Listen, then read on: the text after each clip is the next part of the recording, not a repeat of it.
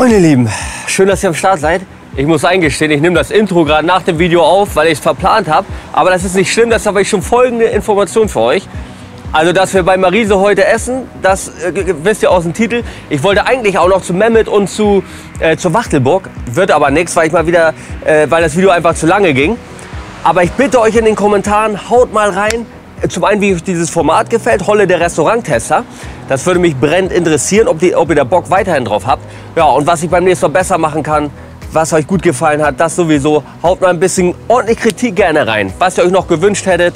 Und ja, dann geht's nächstes Mal, wenn das Video ähm, euch gefällt, auch noch zu Wachtelburg und zu Mehmet, meinem erst, meinen ersten Döner essen seit äh, fünf Jahren oder so. Ich habe keine Ahnung, wie lange ich keinen Döner gegessen habe.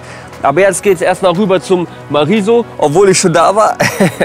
Aber ihr wisst, was ich meine. So, wir vergessen das jetzt einfach mal. Und äh, ja, viel Spaß beim Video. Es ist soweit, es ist soweit. Meine hässliche Kackfresse am Start, Mariso am Start. So sieht das ganz von draußen aus. Bamly bam, bam, bam. Und jetzt gehen wir mal rein. Also hier draußen kann ich euch sagen, kann man Baba-mäßig sitzen. Baba-mäßig. Hallöchen. Buongiorno. So, Chef ist heute nicht da, aber ich habe schon angekündigt, Küchencrew am Start. Die kochen auch schon. Darf ich zu euch kurz in die Küche kommen, Jungs? Perfekt, perfekt. Sehr gut. Ich zeige euch hier mal. Offene Küche, das ist natürlich immer geil.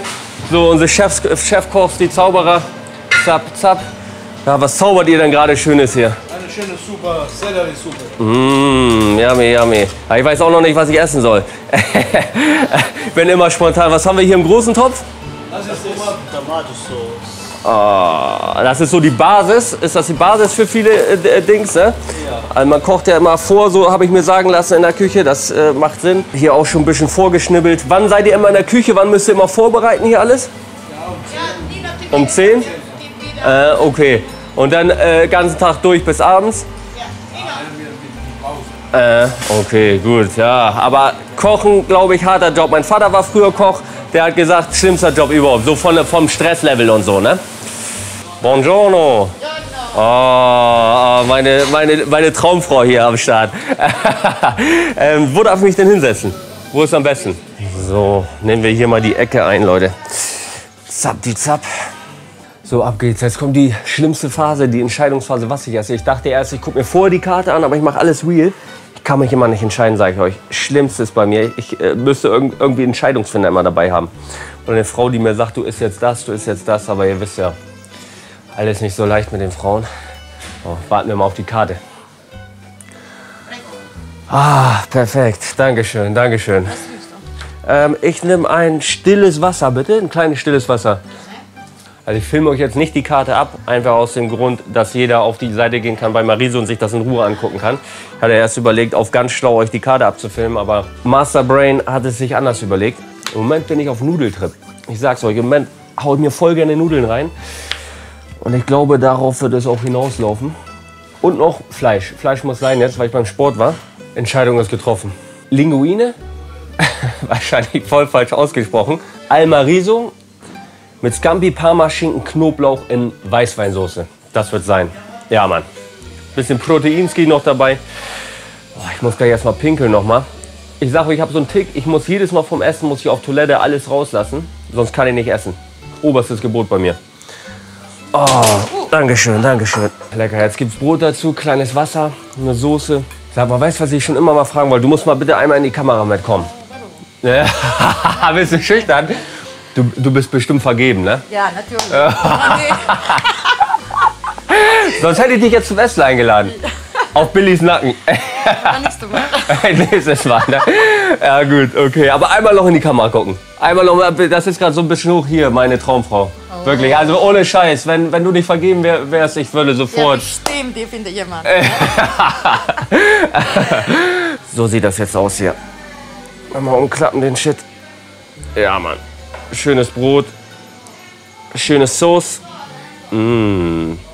So, weiter geht's. Hier noch einmal die, der wunderschöne Feuerlöscher. Ein, äh, wie sagt man? Ach, mir fällt das Wort nicht ein. Viel, viel Wein. Lecker, lecker Schmecker für die Weinkenner. Ja, ich guck mal eben in die Küche, was die Jungs machen. Ob die schon mit meinem Essen dabei sind. Hier nochmal so ein kleiner Überblick. Einmal nochmal in die Ecke rein. So sieht das hier hinten noch aus. Auch noch ein, zwei Plätzchen. Na, seid ihr schon bei meinem Essen dabei, Jungs? Ja, ein bisschen Fisch und Fleisch. Ja, ich guck, ich guck mal eben. Ah, so sieht das hier aus. Selak. Da läuft dann das Wasser im Mund zusammen, sag ich dir ehrlich. Die, ich hatte Linguine, wie wird das ausgesprochen? Sag mal Linguine mit Parmaschinken. Ist richtig, ne? Ja, Linguine Marisa. Äh, habt ihr da schon was angefangen? Kann ich da schon was ab? Noch nie, aber komm noch. Komm noch, ne? Okay, dann komme ich in fünf Minuten noch mal wieder, Jungs. Lasst lasst euch nicht nerven von mir. nicht, dass Fehler passieren, das kann immer schnell gehen, ne? Sag mal ehrlich, kommt oft was in der Küche zurück, wo jemand sagt, oh, es ist ein Fehler passiert. Es ist ja, kann ja mal passieren, ne? Mal machen wir sofort neu. Ja, ne? Letztens war ich woanders erst, die haben gesagt, gib ich weiter an Koch und dann kam gar nichts Neues. Nicht mal eine Entschuldigung. Woanders aber, ne? Äh, unglaublich, ne? so, ja. Ich sage euch ehrlich, dieser Duft hier alleine schon, das ist äh, ein Gedicht. Ein Gedicht ist das. Habt ihr eigentlich auch Bratkartoffeln? Bratkartoffeln, macht ihr das auch? Nee, ne? Ah, ich sag dir, Bratkartoffeln, eins meiner Lieblingsgerichte. Ah, wir machen keine deutsche Restaurants. Stimmt, nachher kommen die hier noch Schutzgeld, Erpressung. so, guckt euch das an. Das war jetzt nicht mein Essen, aber eine andere Bestellung. Wem da nicht das Wasser im Mund zusammenläuft, weiß ich auch nicht. Das sieht gut aus, ne? Ja. Mhm. Das ist unsere Mittagsfisch. Mittagsfisch ist das? Ja. Wir haben mal Futter, zweimal Futter und dann Fisch wir Lachs. Ah. Wann ist denn immer Mittagstisch? Jeden Tag? Ja. 12 bis 14.30 Uhr. Ja, um mal ein bisschen Werbung nebenbei zu streuen. Perfekt, ja. Dann gucken wir mal. Gleich kommt bestimmt mein Essen. Oh ja, da kommt mein Essen. Mmh, schön Scampi schon drin. Ja. Da kommen noch Nudeln dazu. Da bin ich gespannt, wie das schmeckt, Leute. Ihr kriegt gleich eine ausführliche Meldung von mir. Hoffen wir, dass es gut schmeckt. Bestimmt. Aber das Gericht habe ich noch nicht gegessen. Erste Mal. Ich, ich probiere immer gern auch mal was anderes aus. Ich bin nicht so der immer das Gleiche. Das ist wie mit den Frauen, weißt du? Da möchte man auch gern mal ein bisschen Abwechslung. Ein weiser Mann hat mal zu mir gesagt, das sind nicht meine Worte, ich gehe doch auch nicht jeden Tag im Supermarkt und kaufe die gleiche Milch. Wobei das Beispiel mit Milch eigentlich völlig dämlich ist. Ja, also ich hätte ein anderes Beispiel vielleicht gewählt. Wobei ich eigentlich auch Fan bin von einer Langzeitbeziehung. Nur mal ganz kurz hingestellt. So, Jungs aus der Küche, genug genervt. Ich sage euch nochmal meine goldenen Regeln beim Essen. Also zum einen, Brot esse ich immer erst oder generell Beilagen, wenn das Hauptessen da ist. Weil sonst, äh, gut, jeder macht das anders, ne? Muss man natürlich nicht so machen. Ich mache das immer so. Weil sonst äh, geht mir der Haupthunger quasi aufs äh, Essen verloren. Und ich weiß auch nie, wann das Essen kommt. Manchmal braucht das ewig, dann habe ich gar keinen Hunger mehr. Und so dieses Anfängliche, wo man richtig Bock drauf hat, das geht dann irgendwie weg. Ja, Wasser kann ich euch sagen, ich, ich bestelle eigentlich nie Wasser oder Trinken zum Essen. Nicht, weil ich geizig bin, sondern weil ich eigentlich nie was zum Essen trinke. Also sagen wir mal so ein, ein von sechs Mal schon, aber selten einfach nur. Ja, aber wenn ich es jetzt schon stehen habe. Oh, mein Essen ist da. Ah, danke schön, danke schön. Das filme ich gleich erstmal ab. Vielen Dank. Mm, Jetzt passt mal auf. Oh ja, so sieht das aus, ihr Lieben. Mm, So lobe ich mir das. So gebührt es mir. Nochmal schön mit Parmesan drum gestreut. Ich hoffe, das sieht man hier von der Belichtung gut. Dann wollen wir mal essen. So, Live-Reaction jetzt von mir. Linguine mit Parmaschinken. Scampi in einer zarten Weißweinsauce. Erstmal die Linguine. Wahrscheinlich spreche ich es immer noch die ganze Zeit falsch aus, aber egal. Mm. Ja.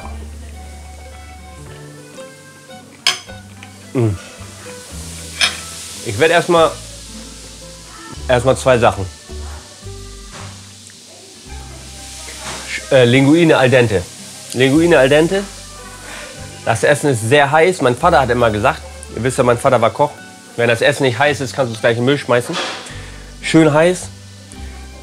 Der Parmaschinken dazwischen, das sind so kleine Streifen perfekt. Ergänzt sich zu 1000% zu den Nudeln. Man hat so einen leichten Biss da drin, wo ich erst gar nicht gepeilt habe. Was ist das? Dann kurz geschmeckt, der Parmaschinken. Schon mal babamäßig. Scampi.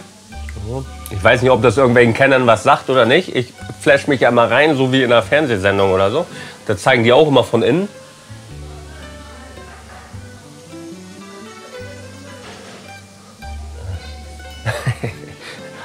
so, Spaß beiseite.